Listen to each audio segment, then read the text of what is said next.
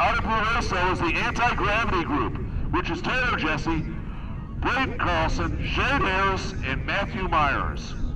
Uh, they are from Kansas City and Victorville, California. This is a 12-inch Punisher, scratch built, 16 feet tall, 12 inches in diameter, 200 pounds. Got an M2000, three M1297s, and three L850s. It's got just as many electronics in it. It's a cluster, so it's definitely a heads-up flight. Scarpine approved this one too.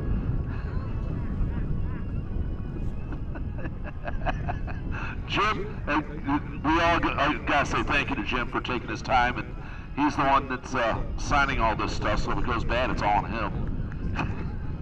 Uh, and the boys said, thank you to Wild Man for something. I'm not sure exactly what they're thanking me for, but I'm going to take it. Uh, guys, thank you for coming out and flying this rocket here at Midwest Power. 12-inch N, 3Ms, and 3Ls are going to disappear into the sky in 5, 4, 3, 2, 1.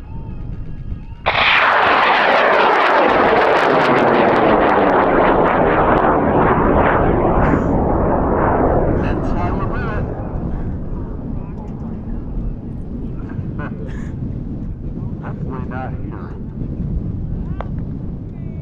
It's working.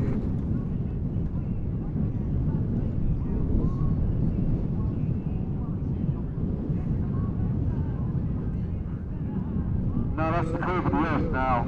There it is. Nice job, boys. Nice job. Remember, you cannot drive out the field. Don't care how big your rocket is.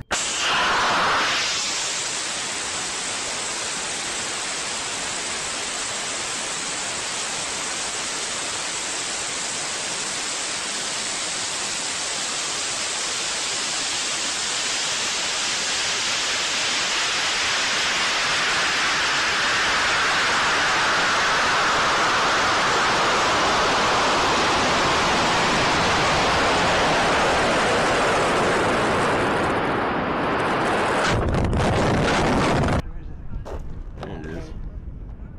All right. Yeah. All right. Oh yeah. I'm interested to see the altitude. Yeah, should we take guesses on the altitude? 15. I'm saying 15. Uh, 15, 200.